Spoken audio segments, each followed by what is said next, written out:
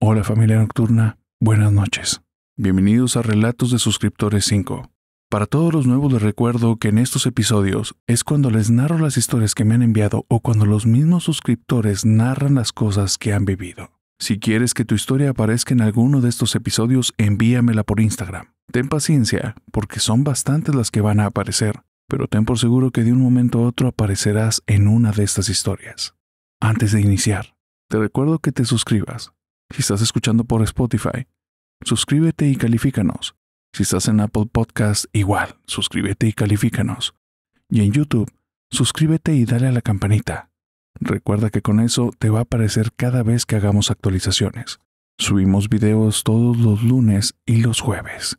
Ahora sí, sin más que añadir, comencemos estas historias. Hola Ice.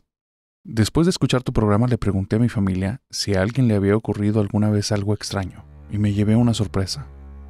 Mi mamá me reveló que cuando yo aún era muy pequeña, en algunas ocasiones por la noche, cuando estaba sola en el cuarto, yo comenzaba a gritar y lloraba. La realidad es que no me acuerdo de nada de eso, pero cuando mi mamá me lo contaba, en su rostro se reflejaba bastante miedo. No dudo que haya sido verdad. Ella me cuenta que ella tenía que llegar corriendo al cuarto Empezaba a tranquilizarme, me abrazaba, me hablaba tranquilo al oído, y que ya cuando yo me tranquilizaba, le decía que acababa de ver a un hombre, un hombre vestido completamente de negro. El traje era literalmente completo, desde los pies hasta la cabeza. Ese señor, ese hombre de negro, tenía un sombrero y una cola como de látigo. También era muy extraño porque utilizaba capa. Mi mamá me dijo que esos días eran horribles, porque también me quejaba que él aparecía en mis sueños. Me dijo que siempre repetía el mismo sueño, que ese hombre me perseguía, se burlaba de mí y yo corría por un pasillo que no tenía fin. También, en algunas ocasiones, le llegué a contar que soñaba con una pared negra y de repente en medio de la pared apareció una canica que se iba volviendo cada vez más grande. Cuando llegaba a ser del tamaño como de una cabeza, comenzaba a girar. Y dentro de ella lograba ver la cara de algunas personas, personas normales, pero de muchas razas distintas, como si fueran personas de diferentes países. Y esos rostros intentaban decirme algo, pero en el sueño jamás lo escucho. Lo extraño es que en esas ocasiones, cada vez que soñaba con esa canica y con esas personas raras, esos rostros que me querían decir algo y no escuchaba. Ocurrían cosas muy fuertes en nuestra vida. En una de esas ocasiones, perdí a mi hermana cuando ella tenía solo cuatro años. Lo último que me contó es que mi mejor amiga y yo estábamos afuera de la casa, acostadas en un trampolín, cuando de repente empezamos a gritar y estaba apuntando al cielo, y las dos comenzamos a decir que se había movido una estrella que yo había dicho que la iba a mover y justo en ese momento, la estrella que estaba señalando con mis manos se movió. Dice que eso es algo que jamás podrá olvidar y que qué bueno que esos días ya pasaron. En fin, quería contártelo a Me llevé una sorpresa cuando me contaron estas situaciones. Hola, en verdad, una disculpa por la tardanza. Ayer intenté grabar la voice note y en verdad que pasaron mil cosas, no se oía o se escuchaban ruidos raros o algo me interrumpía. La casa donde nosotros vivimos se compró en el año de 1998. La verdad es que nunca antes había sido habitada y desconozco cuándo fue que comenzó la, la construcción de este fraccionamiento, pero sí sé que fue de los primeros en la zona. Eh, este está en Altamira, que es el sur de Tamaulipas, que para ese entonces, todavía hace yo creo unos 10 años, era casi pura zona industrial. No había otros fraccionamientos más que a unos kilómetros, si acaso una que otra industria, la Universidad del Tecnológico de Monterrey Campus Tampico, las vías del tren y todo lo demás era puro monte, en verdad puro monte, árboles, la maleza súper alta. Y bueno, todo empezó desde que empezó mi papá a venir a la casa, pero él no le había dado importancia hasta después. Mi papá empezó a condicionar la casa por ahí del 99 y él menciona que siempre uno de los cuartos sentía que había alguien con él. Pero para esto, el mejor amigo de mi papá falleció hace algunos años, mucho antes de que pues, nos mudáramos y antes de que yo naciera. Y mi papá menciona que desde que su amigo murió, él lo sentía en actividades que hacían juntos. Cuando mi papá, por ejemplo, viajaba en carretera, cuando iba a pescar, siempre sentía que su, mejor amigo estaba con él. Sentía como que la presencia, ¿no? Entonces no le dio mucha importancia porque pensó, bueno, a lo mejor es él, ¿no? O sea, realmente si estuviese con vida, estaría aquí ayudándome. Entonces, bueno, no le tomó importancia y pasó.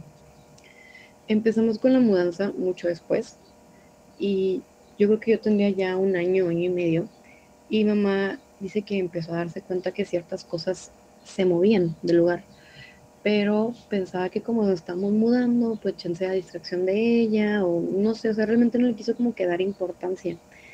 Pero dice que yo platicaba, jugaba con alguien de que en mi cuna. Y pues algunos vecinos de, la verdad no teníamos muchos, pero algunos que ya eran señoras más que nada mayores le decían de que, oye, ah, porque este es un era un fraccionamiento, la mitad del fraccionamiento son este, casi puras maestras y la otra mitad ya la vendieron en Infonavit. Entonces, más que nada las maestras le decían de que a lo mejor son duendes porque hay mucho monte, la casa estuvo muchísimo tiempo deshabitada, lo más probable es que sea eso y pues hasta ahí quedó, ¿no? Yo empecé como que a hablar y mi mamá dice que recuerda que en algún momento yo le dije que yo jugaba con un niño con cara de señor pero pensó que chance era a lo mejor un amigo imaginario o algo así, ¿no? Se empezó a volver un poquito alarmante cuando yo le dije a mamá que lo que yo veía también era un niño en el cuarto de ellos con Katsu. Y se les hizo muy extraño, ¿no? Porque pues no tenía sentido. Entonces mi mamá, como todas las mamás, fue como que buscó un sentido, una traducción y dijo de que ah, está viendo un niño con sangre. Porque pues yo no sabía qué a la sangre a esa edad, ¿no? Entonces, este, mi mamá pues, pensó a lo mejor es una pesadilla, a lo mejor este, vio alguna película con sus primos más grandes y pues de ahí trae la idea de un niño con, pues, con sangre, ¿no? No le dieron como que tanta importancia en ese momento, fue como un comentario random y pues a veces los niños dicen cosas random, ¿no?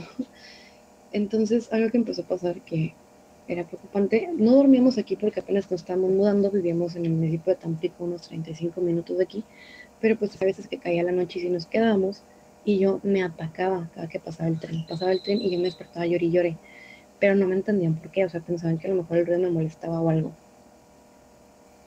Mi mamá se empieza a alarmar un día que está acostada conmigo y de la nada deja de sentir pues mi peso, ¿no? El bulto que estaba ahí con ella. Se levanta muy espantada porque pues para ese momento era de día, o sea, era de día se levanta muy paniqueada, porque ¿qué pasó? Este, no me veo por ningún lado. La cama era una cama king size, o sea, en contexto de una cama king size, los cuartos son relativamente pequeños, son casas de Infonavit. Entonces, pues al menos dos partes de la cama colindaban con la pared. Y nosotros estamos casi pegadas a la pared. Y pues la cama tenía una base. Entonces, no había manera de que yo me hubiera bajado sola. Porque, o sea, si me hubiera bajado, al menos hubiera llorado por el golpe, ¿no? Y no había nada, yo no estaba por ningún lado, ya no se empieza a esperar, empieza a gritar, grita mi nombre, yo no respondo, este, ni un llanto ni nada, mi papá se empieza también a desesperar, empiezan a buscarme por toda la casa, y en su desesperación mi papá agarra la base de la cama, la levanta, y yo estaba abajo, al centro, como si me hubieran simplemente, como si yo hubiera atravesado la cama, y estaba al centro, o abajo, con los bracitos como que metidos en una posición muy extraña que que tú dices, un bebé no pudo haber llegado ahí. O al menos no tan rápido, ¿no? O sea, estaba muy rara. Y la base sí estaba alta, pero, o sea, pegaba mucho con el pie. Estaba muy difícil la entrada, o sea, tenías que meterte. Una, una persona no cabía, ¿no? O sea, para sacar las cosas o los zapatos tenías que meter una escoba. O sea, estaba muy difícil el acceso, pero yo estaba ahí. Que es cuando ya más se empieza a espantar y dice, ¿sabes qué? Algo no está bien aquí en la casa mi papá intentó buscarle solución, intentó decir, sabes que a lo mejor te quedaste dormida hace más rato, la niña gateó, no sé, busca, intentamos buscar como que mil explicaciones, pero ninguna tenía como que sentido por completo. Mi mamá ahí es cuando empieza a buscar este, padres que vengan a bendecir la casa. Y la verdad es que muchos le dan muchas vueltas que porque estaba muy lejos y cosas por el estilo, porque como te menciono no había nada cerca. Y el punto de quiebre fue una vez que mi mamá y yo estábamos solas. Empezamos a traer cosas para acá. Se hizo de noche, yo estaba muy bebé. Y realmente mi mamá le dio miedo regresarse. Entonces fue que, bueno, pues es mi casa, tiene este las ventanas tienen protección, pues nos quedamos aquí, no, mi papá estaba en este, viaje por el trabajo, nos quedamos a dormir y yo me despierto, atención sin falta cada que pasaba el tren, pero esa vez el tren, a mí se me hizo eterno, yo tengo muy buenos recuerdos, a mí se me hizo eterno, pero a lo mejor trae muchos vagones, no sé, este, yo le digo a mamá que el niño con cacho estaba en el cuarto, a la borda de la cama, y ella me dice, pues, ¿qué, dónde, no? Porque ya no lo veía, y yo le decía, mamá, es que está ahí, y yo le dije, mamá, se está quitando los zapatitos. Yo me acuerdo perfectamente de unos zapatos escolares negros, se está quitando los zapatitos. Y mamá de que no, o sea, no, no hay nadie. Yo, mamá ya se está subiendo a la cama, yo estaba en un grito, y tendría yo que, yo creo que unos tres años máximo. O sea, tres años y ya estaba muy grande, ¿no? Le dije que está quitando zapatos y mi mamá empieza, como algo se empieza a, a sumir en la cama, como si alguien fuera gateando. Mi mamá entra en pánico porque pues realmente ya no veía nada. Este, yo empiezo a gritar, le digo que me lo quite encima, que está encima de mí, mi mamá se desespera demasiado, no sabe qué hacer, está en un grito y como pudo entre mis pataleos me cargó, me sacó y nos fuimos. Este, ya ahí mi mamá empezó a buscar más desesperadamente un padre y un padre le dijo que buscara al padre Carmelo. El padre Carmelo era un señor ya de unos noventa y tantos años, viejito, viejito, viejito, y era de los pocos aquí en la zona que se había instruido en el Vaticano. Le dijeron que le buscara él que el único que iba a saber qué hacer iba a ser él, pero no le dijeron más. Entonces llamaba a buscar al padre Carmelo, el padre Carmelo le dice que sí, que él viene, este, lo trae mi mamá a la casa, el padre le dice, ¿sabe qué señora? Eh, sálgase, voy a estar aquí como una hora o dos máximo, sea lo que sea que escuche, no quiero que entre. Y se quedó así, o sea, yo la, verdad, sabes, ya mi madre me trajo vino sola con él. Y sí estuvo un buen rato, eh, y a partir de ahí las cosas disminuyeron. Ya no vi al niño con catsup. El padre le dijo que ya había quedado. Y además le preguntó que se había sido una bendición y le dijo algo así, pero realmente no le, no le dijo más en ese momento, ¿no? Aún pasan cosas raras en la casa, este, por ejemplo, voces que nos hablan, más que nada conmigo, me ha pasado en algunos de los cuartos viejos de la casa, este, nos ha pasado que hemos personas, o sea, tal cual, de que, y nos ha pasado no solamente a nosotros, sino personas que vienen a la casa, ¿no? Pero así es, así a grandes rasgos, algo agresivo como lo que pasó esa vez, ya no ha pasado nada. Eh, yo toqué el tema porque yo estoy en una universidad católica, que es de la Zanahuac, y muchos de los maestros son seminaristas, son padres, y uno que me da clase a mí era un ex seminarista, que de hecho trabajó muy de cerca con los padres, este, eran exorcistas y mencionó al padre, como dice mi padre Carmelo, yo le dije que yo lo conocía porque fue a bendecir la casa, le conté y ese maestro fue el que me explicó que realmente no hay fantasmas de niños. Esto porque los niños no tienen ningún pecado como para estar penando, si acaso el pecado original, y pues serían los niños que no están bautizados y van al purgatorio. Que realmente los niños no, o van al cielo o van al purgatorio, pero no se quedan penando en la tierra porque no tienen un porqué, su alma no tiene que lo que pasa es que algunos entes, él me explicó más o menos, realmente yo no sé ciencia cierta, no, no, me, no, me, este, no me especializo en eso, pero menciona que algunos entes como que hay ciertas jerarquías, ¿no? Algo así me dijo que algunos del bajo mundo, este, para acercarse, porque se alimentan de energía, tienden a imitar este, el espíritu de Dios porque te atrae más o te da menos miedo que el de un adulto, que de algún otro ente que sea, pues así, ¿no? De que grotesco. Entonces realmente tienden a tomar la forma de niños para atraerte.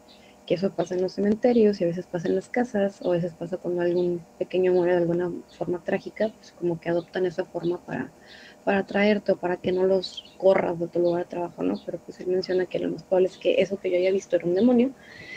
Y pues hasta ahí quedó como que ese tema realmente no, no he vuelto a ver a esa, ese ser, ese ente. Este, nuestra familia sí se ha dado que algunas personas tenemos que para eso, pero yo ya no, no lo he sentido, no lo he visto, gracias a Dios. Pero bueno, eso fue nuestra historia con algo muy similar, me jalaron del lugar donde estaba, nadie se explica por qué, hasta la fecha nadie se explica cómo, y pues un famoso niño que estaba aquí en la casa que resulta que no, no era un niño.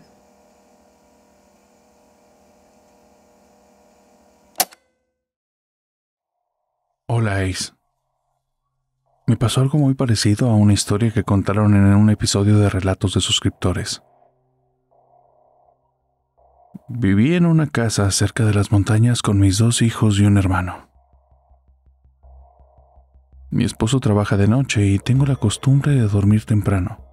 Y cuando me levanto, tiendo a ir al baño, checo las puertas, reviso que todo esté bien en la casa y después voy y checo cómo está mi niña.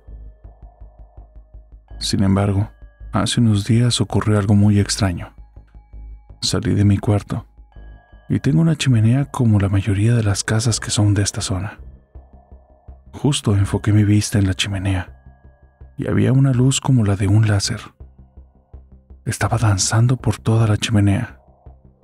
Me acerqué un poco más y pude ver cómo daba vueltas por toda la chimenea, como si estuviera escaneando todo. En ese momento corrí de regreso a mi cuarto. Le envié un mensaje a mi marido. Mi hermano y mi hija se levantaron por el escándalo que hice. Me notaron agitada y me preguntaron qué estaba pasando. Les conté lo que había sucedido. Ellos me dijeron que probablemente era un reflejo, que se estaba colando por la ventana, que era una luz que venía debajo de la puerta. Por eso no puede ser, porque las cortinas que tengo en esa parte de la casa son totalmente negras y son bastante más anchas que de la ventana. Lo que ellos no vieron y yo tengo muy presente es que el resto de la habitación estaba totalmente oscura. Y la luz, la luz no venía de la ventana, venía desde arriba del hueco de la chimenea. Y me dicen que si se colaba debajo de la puerta. Eso hubiera hecho que el resto del piso tuviera también esa luz de láser que se pudiera ver algo de haz de luz. Pero como te digo, la habitación completa estaba oscura y no se veía la luz danzando en un punto frente a mí. No, se veía la luz en la parte baja de la chimenea, como escaneando todo a su alrededor. En fin, Ice, realmente no tengo idea de qué fue lo que pasó, pero desde ese día acostumbro a dejar una lámpara encendida en la noche Sé que no tiene relación alguna con lo que pasó, pero me hace sentir más tranquila. Me falta mencionar un detalle en esta historia. Y es que hace muchos años un hijo mío murió y sus cenizas siguen ahí, en la parte de abajo de la chimenea. ¿Tú crees que tenga que ver algo con eso? Hemos llegado a la mitad de este episodio. Tómate un descanso para decirme cuál es el relato que más te ha gustado hasta este momento. ¿Y cuál es el episodio que más te ha impactado hasta el día de hoy? Acomódate, relájate y prepárate para entrar a esta segunda parte del episodio. Prepárate para conocer estos relatos que han hecho estremecer a más de uno. Continuamos. Buenas noches, pues mi relato es el siguiente. Yo tenía 15 días de haber dado a luz, por lo que mi hija en ese momento no se encontraba bautizada. En el cuarto donde estaba yo era en casa de mi abuelita por lo que nos quedábamos con ella en el mismo cuarto, ya que eh, pues ella se encontraba muy mal de salud. Eh, ese día eran como las diez y media de la noche. Mi esposo no se encontraba, pues él fue a casa de mi suegra y se llevó a mi hija la mayor, puesto que solo en el cuarto pues nos encontrábamos mi abuelita, mi bebé y yo. Las camas quedaban pues de pared a pared y yo pues no acostumbraba a amarrarle sus manitas a mi bebé, pues así como dicen antes era de pues de tamalito, sino que esa noche, esa noche no sé por qué, pero así la amarré con su cobijita cubriéndole sus manitas y solo recuerdo que mi abuelita y yo comenzamos a platicar, eh, puesto que mi bebé ya se había quedado dormidita y, yo la tenía abrazada sobre mi pecho, cuando de repente mi abuelita me dice, ay, dice, empecé a sentir mucho sueño y ya no lo aguanto, ya siento que se cierran mis ojos. Entonces a lo que yo le contesto, sí, le digo, yo también siento mis párpados pesados, tengo mucho, mucho sueño. En eso, no sé en qué momento, pero pues nos quedamos profundamente dormidas las dos. Así como si nos hubiéramos tomado, no sé, como una pastilla para dormir, algo así. Y pues mi bebé daba del lado de la pared, o sea, no había manera de que pues sucediera o ocurriera algún accidente. Cuando de repente, pues así entre sueños, porque empecé a sentir como, como si estuviéramos en una burbuja, o al menos eso fue lo que yo sentí, como que entré a una, burbu a una burbuja así como mucha presión y sentí mi cuerpo muy, muy, muy, muy pesado. En eso así entre sueños alcancé a escuchar el llanto de mi bebé, pero con mucha desesperación, mucha desesperación Entonces, no sé cómo, no puedo explicarlo, pero logré abrir mis ojos. Abrí mis ojos y, di como que un sobresalto. En eso me doy cuenta que, que pues mi bebé ya no estaba en mis brazos. Entonces yo empecé, mi bebé, ¿dónde está mi bebé? Mi bebé la buscaba en la cama de, del lado que yo estaba y pues no, o sea, dije a lo mejor y se fue, no sé, abajo de las cobijas, algo, ¿no? Y, y levanté las cobijas y no, yo no me decía mi bebé. En eso escucho que, que mi abuelita igual despierta y grita, la bebé, ¿dónde está la bebé? ¿Dónde está la bebé? En eso yo al momento de voltear a ver a mi abuelita, eh, en el momento que yo volteo a ver a mi abuelita, veo a mi bebé en el suelo y, la veo boca abajo y, y, la veo que la parte de abajo de su caderita hacia sus pies están metidas hacia abajo, hacia como abajo de la cama. Entonces, pues me levanté lo más rápido que pude, porque pues bueno, ella nació por cesárea. Me levanté como pude, eh, eh, agarré a mi bebé, la revisé, le desamarré sus manitas. Eh, me preocupaba mucho porque yo dije, bueno, no sé, no, no logramos explicarnos cómo fue que, que mi bebé llegó hasta allá, puesto que estaba del lado de la pared. Entonces me preocupaba mucho porque pues yo dije, se sacó sangre, le salió sangre, no sé, porque pues básicamente estaba volteada boca abajo. entonces le revisé su nariz, su boquita, su encía, que no se fuera a lastimar, que no se hubiera lastimado. Y no, mi bebé solo temblaba así mucho y se oía su llanto de desesperación y estaba rojita, rojita. De, de la verdad no sé, perdimos noción del tiempo, no sabemos cuánto tiempo nos quedamos dormidas, cuánto tiempo estuvo así mi bebé. Solo la vi que ya estaba así como rojita. La desamarro, eh, le empiezo a dar pecho para que se tranquilice. Y pues después de eso, mi abuelita y yo nos quedamos viendo y pues por más que pensábamos, eh, buscábamos alguna explicación, no supimos en qué momento nos ganó el sueño, en qué momento mi bebé fue a dar con la mitad de su cuerpo bajo su cama, como si algo o alguien la, la hubiese jalado. Eh, pues es cosa que hasta la fecha no, por lo menos yo no he encontrado la explicación a ese suceso por lo que por consiguiente pues se tomó la, como que pues ya era muy urgente y pues quedamos como muy espantados. En ese momento de que ya pasó eso, va llegando mi esposo, yo le explico y, la verdad fue que se decidió que pues ya íbamos a bautizar a la niña. Pues estuviera yo como estuviera, pudiéndome yo levantar y, ir a pues a bautizarla. Pues ya posterior a ese hecho, como a los dos meses, mi prima de igual manera dar luz a su bebé. Y de repente igual en el techo, como era de lámina, pues empezaban a escuchar como pasos, cosa que pues también nos dio miedo porque pues siendo de lámina no es como que soporten mucho el peso de una persona. Eh, después eh, se comenzaba así como a sentir frío, miedo, se ponía un ambiente como en aquel entonces me pasó de mi hija. Eh, así estuvimos por cinco días y siempre, siempre era lo mismo, a la misma hora, esto nos venía pasando a las 2 de la mañana. Pues cuando de repente escucho que sale pues mi tío y avienta como una bandejada de agua sobre el techo. Eh, en eso pues se escucha como las pisadas son como más apresuradas, como que salió corriendo, no sé si la persona o lo que fue. En eso pues ya el otro día me encuentro a mi tío y le, le, le digo, ¿no? Oye, ¿por, ¿por, qué me aventó agua? Y ella me dice, no, dice que crees que ya igual iban varios días que yo escuchaba que algo andaba así como por los techos y, y en eso pues mmm, daba la casualidad o no sé cómo explicarlo de igual manera. Eh, mi nieto empezaba a llorar, empezaba muy inquieto, como desesperadito. Entonces pues por más que le hacíamos no se callaba. Entonces pues yo salí y arrojé el agua así. Dice, lo que yo alcancé a ver era, era un gato. La verdad dice, no, no me percaté así como que fuera una persona, sino que más bien fue un gato y pues sí nos sacó mucho de, de onda porque pues eh, este gato dice mi tío que al aventarle el agua pues se salió así como un olor a fétido. Era un olor a fétido y, y solo alcanzó a ver como que el aspecto del gato era raro.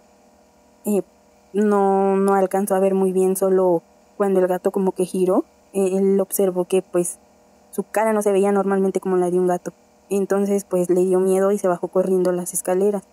Ya de ahí pues ya no, no volvimos a escuchar al, al gato puesto que igual ellos sintieron miedo y, igual lo más pronto que pudieron fueron a, a bautizar a su bebé.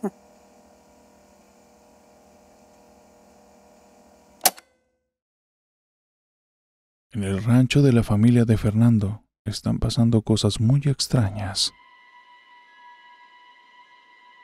Cuando el abuelo de Fernando estaba vivo, adoraba ese rancho y lo cuidaba con todo su corazón. Había sido su máximo logro en vida y le encantaba pasar el tiempo ahí. Años después de su muerte, después de que les heredó el rancho a toda la familia de Fernando, se empezaron a enterar que en ese rancho estaban ocurriendo cosas muy extrañas. En familia comenzaron a recopilar los relatos y se dieron cuenta que el primer suceso ocurrió durante una posada que celebraron ahí en fin de año. El tío de Fernando había decidido hacer la posada del trabajo ahí en el rancho. Lo separó con tiempo con la familia. Y el día de la posada, cuando la noche estaba muy fría, la secretaria del tío decidió salir un momento fuera a tomar aire fresco. Entonces, la persona que cuidaba el rancho se le acercó y le preguntó qué estaba haciendo ahí. Ella le respondió tranquilamente que estaban celebrando la posada del trabajo. Entonces el cuidador se puso serio y le preguntó que quién estaba a cargo. Cuando la secretaria dijo el nombre del tío de Fernando, el cuidador se tranquilizó y le dijo, muy bien, cuiden el rancho. Se dio media vuelta y se fue. La secretaria se quedó un poco consternada, pero al final no se le hacía raro. Un señor que trabaja cuidando ranchos no tenía por qué estar enterado de todos los movimientos que ocurrían ahí. Cuando regresó adentro, habló con el tío de Fernando, con su jefe y le dijo que por qué no invitaba al trabajador a pasar dentro. La noche era muy fría. El tío, un poco curioso y divertido por el alcohol, no le dijo que no tenía ningún cuidador y le preguntó las características físicas de esa persona que le había hablado cuando ella estaba afuera. Cuando ella le empezó a dar todos los rasgos físicos, el tío no dudó en ir a una de las habitaciones, traer una fotografía y la chica, apuntando la fotografía, dijo, sí, esa fue la persona que me habló afuera. La fotografía era del abuelo de Fernando, que había fallecido ya hace unos años, el antiguo dueño de la ranchería. Tiempo después se enteraron de otra anécdota bastante extraña. Unos amigos de la familia se habían quedado sin agua y sin gasolina justo afuera del rancho. Fueron al rancho, tocaron en la reja y un hombre salió desde dentro de la casa. Se acercó hacia donde estaban y les preguntó qué necesitaban. Ellos le dijeron que necesitaban nada más un poco de agua y hacer una llamada. El señor les dijo que no había ningún teléfono, pero que con mucho gusto los podía auxiliar con el agua. Entraron, convivieron un poco con él, llenaron unos garrafones, pudieron rellenar los tanques de agua. El señor se despidió amablemente y cerró la reja. Meses después, cuando se toparon al tío de Fernando, le contaron el suceso y le pidieron que le agradeciera mucho al que estaba cuidando el rancho. El tío, que había celebrado tiempo atrás la posada, les pidió los rasgos físicos de la persona. En efecto, estaban hablando otra vez del abuelo. Pero esa no fue la última vez que el abuelo de Fernando se apareció para cuidar el rancho. Hace unas semanas, cuando estaban en una carne asada Fernando y un grupo de amigos, Empezó a helar en la noche, y decidieron todos entrar a la cabaña. Sin embargo, el que estaba asando la carne dijo que él se quedaría fuera para terminar de asar todo, justo cuando estaba a punto de terminar. El cuidador del rancho se le acercó y le dijo que qué estaba haciendo ahí. El chico que estaba asando la carne volteó y le dijo, estoy terminando de asar carne. Estoy aquí con los muchachos. Y el del rancho le dijo, ok, ¿quién está a cargo? Le dio el nombre de Fernando. El cuidador sonrió y le dijo, salúdamelo y cuiden mucho el rancho. Se volteó y se fue. Cuando terminó de asar todo, entró y le dijo a Fernando muy serio que por qué no invitaba a cenar al cuidador, que aparte hacía mucho frío. Fernando le dijo que en el rancho no había nadie que cuidara ese lugar. Entonces le pidió la descripción física. Y en efecto, tú ya sabes lo que estoy a punto de decir. No era ningún cuidador era la tercera vez que se aparecía el abuelo de Fernando. Después de que en familia platicaron estos hechos, todos quedaron en cuenta de algo. Ese rancho tenía alguien que lo cuidaba. Y es muy probable que en un futuro el abuelo de Fernando se le vuelva a presentar a alguien más. Hola, espero que estén bien. Les hablo desde Colombia y básicamente es algo que me pasó cuando era muy chiquita. Básicamente cuando vivía en la capital, Bogotá, eh, la capital de Colombia, y vivía con mi madrastra. Tuve problemas con ella, era todo muy raro, pero básicamente un día yo estaba cepillándome, tenía como 7, 8 años, me estaba cepillando, salgo del cuarto y pues, pues del cuarto del baño y volteo, o sea, como que de inercia algo me decía como que mira a mano derecha y miro y básicamente era como ver el diablo. O sea, sabía, o sea, mi, no sé cómo decirlo, pero mi con, subconsciente o consciente era como que ese es el diablo, pero él no era el diablo como, como la gente lo, lo, lo hace ver por imágenes, sino que era en, o sea, como en una figura de mujer, básicamente muy sensual, y era la mera silueta, y, y estaba, no sé cómo decirlo, pero estaba acostada en la cama donde yo dormía, en una posición muy sensual como de calendario, de, pues de revistas de mayores, y me decía, o sea, no me decía, pero me hacía con el dedo como que fuera, como que fuera, como que fuera. Y fue en unos contados segundos que yo me congelé y era como de que voy o no voy, pero porque esa persona está en mi cama y porque lo, no le veo el cuerpo como se lo podría ver a otra persona, sino totalmente negro y con los ojos súper mega rojos. O sea, era un rojo encendido súper, súper, súper fuerte. Entonces después de, descongelarme, lo, lo, que hice fue obviamente correr hasta el primer piso y esconderme y durar como una hora llorando desesperadamente en el sofá y decir, es que el diablo, bueno, no le decía al diablo, sino la diabla, la diabla me está diciendo que vaya, que, que la siguiera, que fuera con ella. Y automáticamente mi abuela lo que hizo fue subir y como reprender y orar.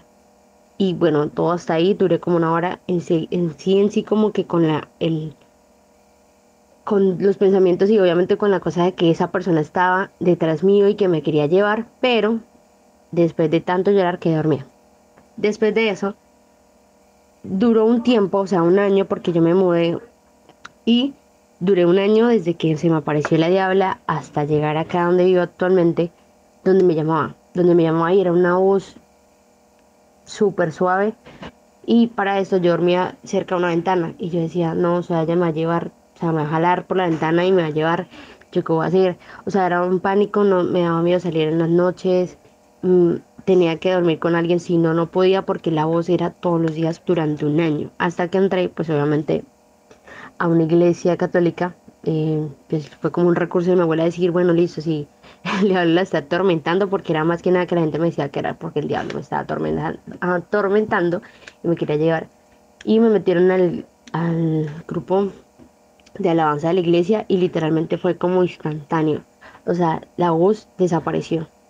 Y ese es el momento en que, pues obviamente no, no, me, no escuché a nadie, no he visto nada, pero fue tan real que yo a veces me puedo pensar como que hubiese pasado si yo hubiera caminado hacia ese ser que me llamaba y que un momento a otro no lo veía, pero sí lo escuchaba y que automáticamente desapareció al entrar a una iglesia, o sea, como de que que, o sea, siempre tengo la duda de que si el diablo puede transformarse en, en o sea, como tener otra, otra presentación, o sea, pues igual hay, creo que nadie sabe cómo es el diablo, no, pero fue algo que todavía sigo en mi, o sea, sigue en mi mente porque es, es fue súper mega real, o sea, yo nunca había vivido algo paranormal o que la gente, pues a veces le cuento a la gente, la gente dice como que no, es que el diablo no puede ser mujer y yo como que, pero entonces, ¿qué era? O sea, ¿qué se me apareció? Alondra me contó el suceso más triste y aterrador que ha vivido en toda su vida.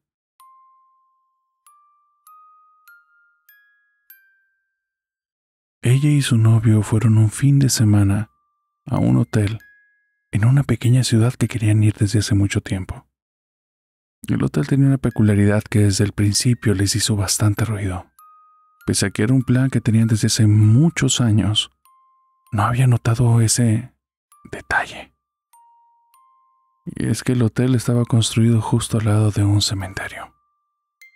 Sin embargo, era un proyecto que tenían desde hace mucho. Y no lo iban a detener por eso. Desde que Alondra llegó al hotel, sintió una vibra extraña. No una vibra pesada, sino una nostalgia muy profunda.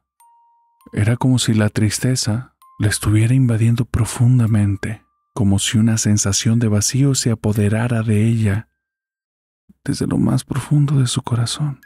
No sabía por qué, pero la mayor parte del tiempo le invadían unas inmensas ganas de llorar.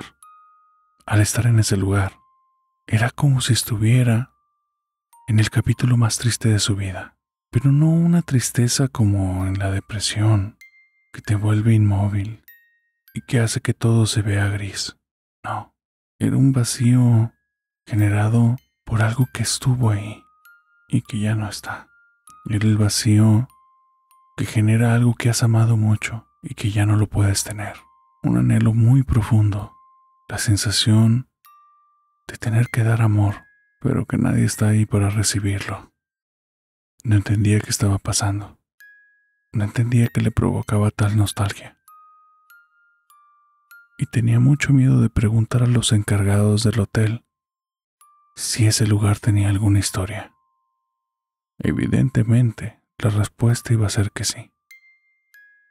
Pero era probable que ella no estuviera preparada para escucharla. No le comentó nada a su novio porque no quería afectar su viaje. Sentía que era algo con lo que iba a poder. Pero Londra no tenía ni idea de lo que se iba a enfrentar más adelante. La primera noche que se fue a dormir, tuvo un sueño muy extraño. A los pies de su cama estaba un niño y cargaba un osito de peluche con su mano izquierda. La mano derecha la extendía y por el puro gesto, Alondra sabía que el niño le estaba pidiendo que le tomara la mano como que quería llevarla a algún lugar.